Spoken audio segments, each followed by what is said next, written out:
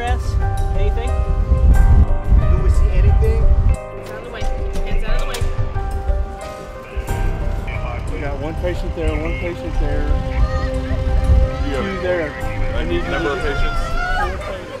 An IO would be okay to move forward with if we have that. Um, where would you put an IO? About three fingers down to the patella, two fingers over, medial tibial plateau. Okay, good. About four minutes. ETA to the helicopter.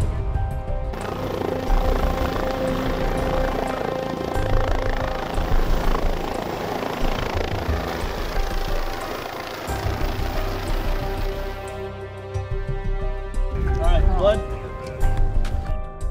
Just smear that around a little bit. This experience is invaluable to students. I am not aware of anywhere else that the students are able to go and run a full-blown call. And that's from dispatch to arriving on the scene in an ambulance with two team members. They assess the patient. Oh, they transport the patient. Tanya, we're get you on a board, hon. We're gonna put you in the ambulance, okay? They drop the patient off to ED, the emergency department. Okay, you know your name?